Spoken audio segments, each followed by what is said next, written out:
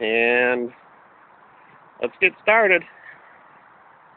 This is my truck. See this truck on the road? This is me. I'm the owner and operator. Uh, I do have my sons and occasional daughter that helps out.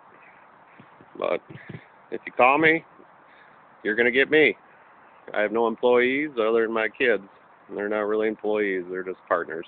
So we're going to get this house squared away, and I'll show you. Ridge vent definitely got an issue. It's all chewed out there where that roof line comes together. Looked like the main entry point there. We're going to set up a